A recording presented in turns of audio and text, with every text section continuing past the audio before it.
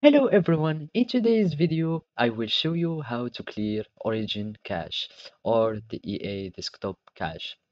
So the first step that you have to follow uh, to uh, do this operation is to search for your cache folder uh, location. And to do so there are uh, many ways. Uh, the first one is to go to PC like this and click on it. And after that you have to open the C hard drive. Uh, you will find many folders here. You have to search for the program data.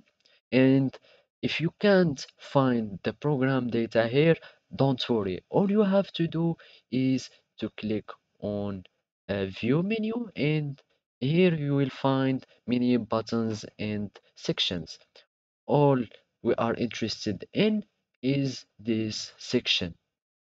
And you should make sure that the hidden items are checked in because if it is not as you can see the all the hidden items or hidden folders won't show up.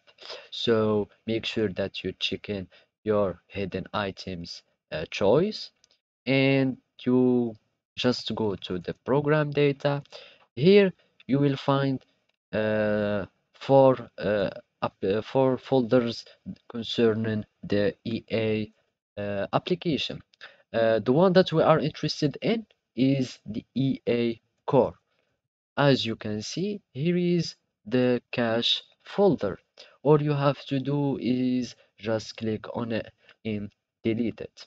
And also, the second way to do uh, or to delete your cache uh, folder of origin, all you have to do is just click on the Windows button on your keyboard and click R. Means that you have to click them both. After that, it will show up this tab. All you have to write is app data. After you click enter, you will find three folders here.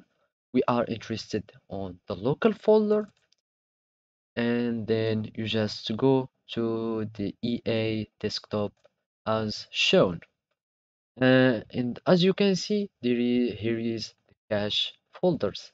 All you have to do is just uh, delete them manually or just try click on the folder and click delete.